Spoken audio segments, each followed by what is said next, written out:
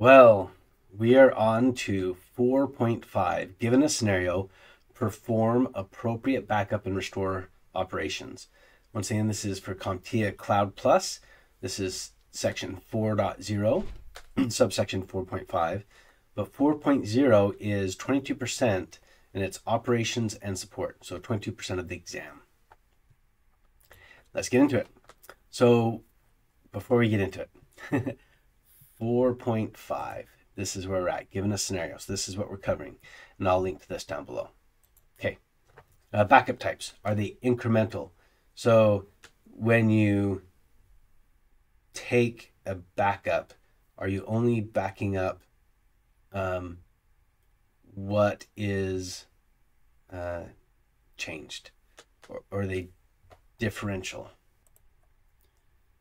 So differential covers everything that's changed since the last full.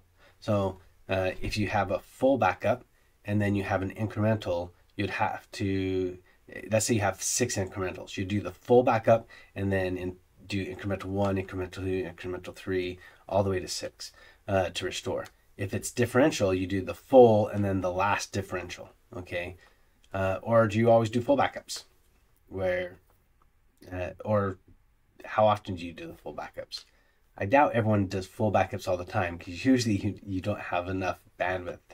Uh, it, it, takes a lot of, uh, of resources to do a full backup. Or is it a synthetic full?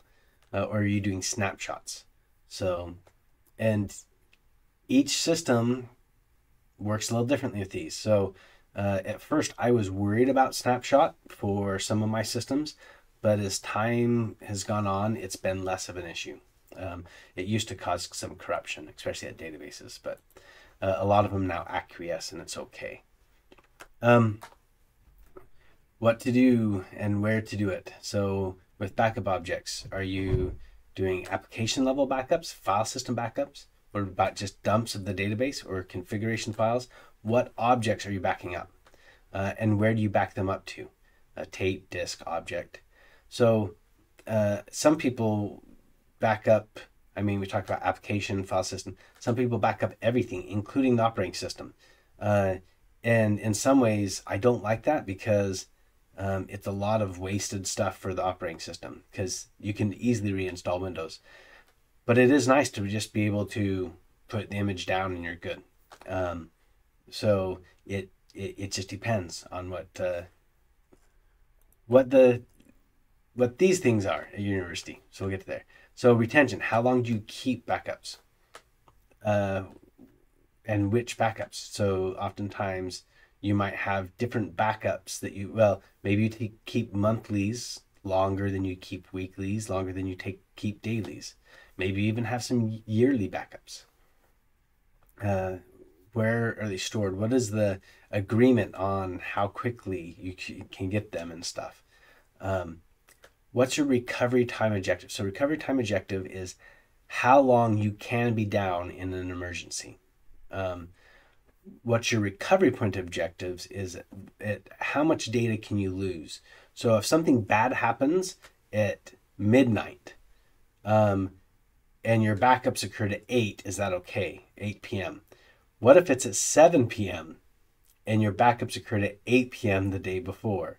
So uh, what point do you need to recover from? How much are you okay losing? And the mean time to recovery, what's the average time it would take you to recover? By the way, your re- to recovery should be less than your recovery time objective, what when you have to be up by. Um, otherwise, yeah, it's bad. Um, the 321 rule. You should have three copies of data on two different media and, and one copy offsite. Uh, one of the big issues that I had um, in my career, the backups were on the same media as the stuff being backed up, and it was, and that's what had the issues. So it doesn't really help to back up your data to the same media that's being used. So three copies of data, two different media, and one copy offsite. Restoration methods. Are you storing it in place or do you have an alternate location? If it's an alternate location, how are you controlling those costs? Are you okay?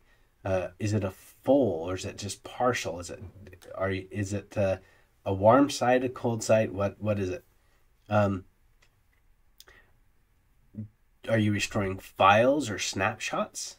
Uh, what is the method that you're using? So anyway, I hope this is helpful. We'll see you in the next video.